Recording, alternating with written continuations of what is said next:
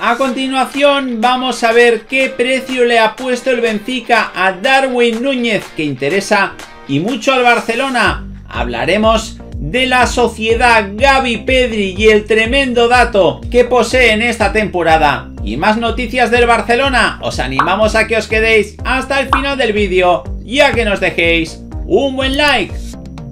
¡Vamos a ello!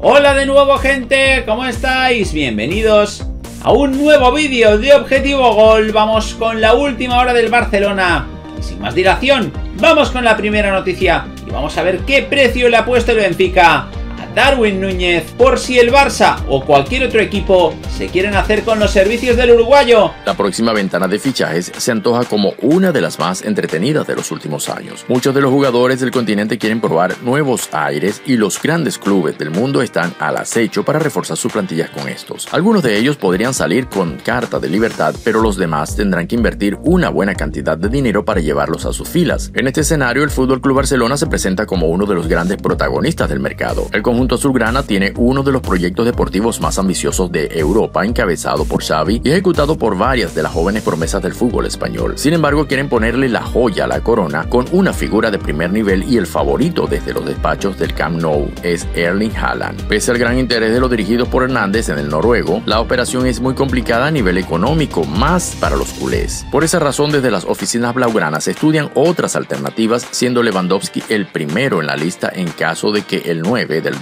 No pueda llegar. No obstante, otro nombre aparece en la agenda catalana y no es otro que el de delantero del Benfica, Darwin Núñez. El uruguayo se está saliendo con las Águilas esta temporada donde lleva anotados 31 goles en 36 partidos, aunque vive un gran momento en el Estadio Daluz. El goleador Charrúa saldrá del equipo en verano y muchos equipos ya han tocado su puerta, siendo el Barça uno de ellos. No obstante, no será una operación barata, ya que el equipo de Lisboa ha tasado al jugador en 80 millones de euros. Por lo tanto, los barcelonistas tendrían que ser una inversión importante si quieren hacerse con el ex del Almería. Núñez ha despertado el interés de muchos clubes en la Premier League. El West Ham United ya intentó su fichaje durante el mercado invernal, pero el Benfica no estaba por la labor de dejarlo salir y rechazó todas sus ofertas. Misma situación que el Arsenal, que estaría llevando al delantero al Emirates Stadium, pero sus intentos fueron infructuosos. Ahora en el Manchester United, quien estudia la incorporación del internacional uruguayo para suplir la baja de su compatriota Edison Cavani, quien dejará Old Trafford en julio. Lo que está claro es que el Barça tendrá mucha competencia en la carrera.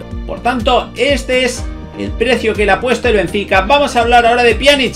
Y es que regresará al Barcelona a final de temporada. El futuro de Miralem Yannick está en el aire, pero tendrá que regresar al Fútbol Club Barcelona un año después de su cesión al Besiktas. No ha encajado en el equipo, razón por la que el conjunto turco le devolverá al Camp Nou, tal y como ha confirmado el director deportivo del club, Seyhun Kazansi. Los blaugranas intentarán reubicarle en el mercado de fichaje de verano, previsiblemente, puesto que tiene contrato hasta el 30 de junio de 2024. Yannick lleva cedido en nuestro equipo desde el inicio de la temporada, sin embargo, no continuaremos con él la próxima campaña. Comenzaremos con solo nombres que sean adecuados al sistema del entrenador, ha declarado Seyhun Kazansi. Yannick ha jugado 24 partidos en lo que va de temporada, con cuatro asistencias repartidas, dos en la Superliga turca y otras dos en la fase del grupo de la Champions League. Son unas declaraciones que chocan con las intenciones que tenía el centrocampista bosnio, quien ha manifestado en diferentes oportunidades estar muy contento en el Besiktas y que si de él dependiese se quedaría más tiempo. Estoy muy feliz aquí me adapté con facilidad, me siento a gusto. El Barcelona me envió a un equipo ganador. Es bonito jugar para el Besiktas en un país increíble como Turquía, dijo a Sport a finales de enero. En esa misma oportunidad, Yannick destacó que vine aquí por un año, pero veremos qué pasa. Mi familia y yo somos felices aquí, aunque tengo un contrato de dos años con el Barcelona y tendré que volver al final de temporada. Es demasiado pronto para hablar de lo que pasará en el futuro. Ahora estará obligado a regresar a la ciudad condal mientras los culés le consigan un nuevo equipo para la próxima temporada. temporada. En una entrevista reciente a la Gaceta dello Sport, Yannick dejó la puerta abierta a un regreso al fútbol italiano donde brilló por unos cuantos años, primero en la AS Roma y después en la Juventus, equipo con el que mantuvo contactos durante el verano pasado de cara a un posible movimiento. Massimiliano Allegri le quería de vuelta al equipo, pero la vecchia signora tenía otras prioridades. Ahora la situación podría ser distinta y beneficiosa para un Barça que quiere deshacerse de él.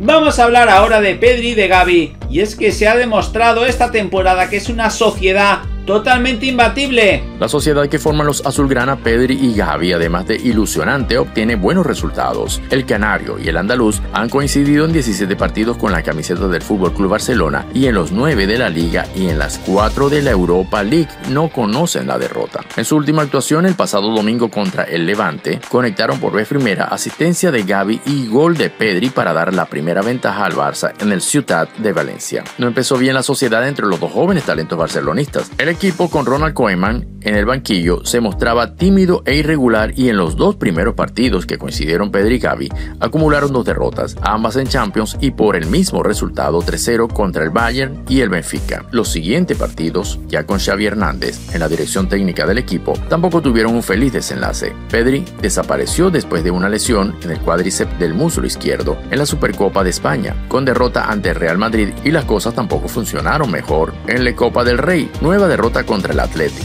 En ambas ocasiones el Barça sucumbió en la prórroga. A partir de ahí, sin embargo, la sociedad Pedri Gavi suma los partidos en los que coincide sobre el terreno de juego con buenos resultados, 10 victorias y 3 empates en la Liga y la Europa League. Además, en la última aparición contra el Levante, establecieron el primer vínculo en el 1-2. La racha se inició en el primer partido de Liga que coincidieron el Barça Atlético del 6 de febrero. Ambos fueron titulares y sustituidos, Pedri por Nico y Gavi por Dest. Y Gaby rubricó su buen partido con un gol. Algunos datos curiosos que han acumulado ambos cuando han coincidido en el campo. Nunca han empezado y acabado los 90 minutos. Pedri ha firmado 5 goles y ha dado una asistencia. Aubameyang en Valencia, aunque su disparo fue con toda la intención a la portería. Y Gaby ha convertido un gol y ha dado dos asistencias. A Aubameyang también en Valencia y a Pedri el pasado domingo. La sociedad entre Pedri y Gaby también ha debutado con la camiseta de la selección absoluta de España. Con la roja,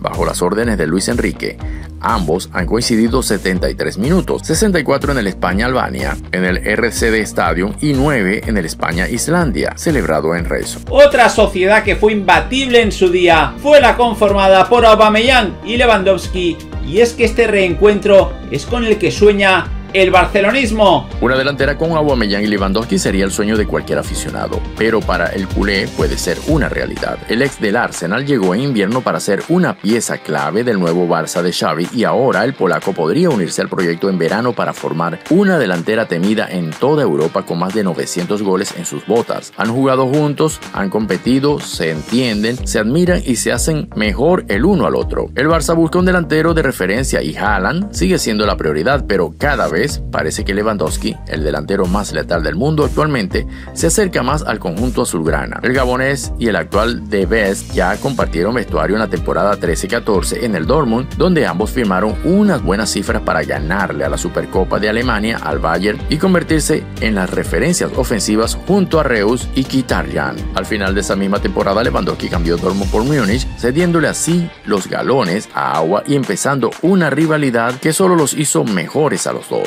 Los últimos tres años he competido con Aubameyang por ser el máximo goleador. Ahora que se ha ido quizá una parte de mi motivación que venía de nuestra rivalidad se ha marchado, dijo el polaco. La realidad es que solo ha hecho que mejorar y superar récords, pero que el actual futbolista azulgrana le quitara el trofeo de máximo goleador de la Bundesliga en la 16-17 sobre la bocina. Lo impuso a convertirse en un depredador aún más hambriento. En la única campaña que compartieron en el conjunto, Borussia levantaron la Supercopa. Acabaron aunque lejos del Bayern, que también les ganó la final de la Copa en la prórroga y llegaron a cuartos de final de la Champions League, donde Madrid les superó por un global de 2-3. Auba, que mayoritariamente ocupaba posiciones de banda, fijó sus registros en 16 goles y 5 asistencias, mientras que Robert sumó 28 dianas y 13 pases de gol, de los cuales 5 los remató a gol el gabonés. Prueba de la buena sintonía que tenían dentro y fuera del campo. Un fichaje que cada vez parece más real y que Aubameyang ya sufrió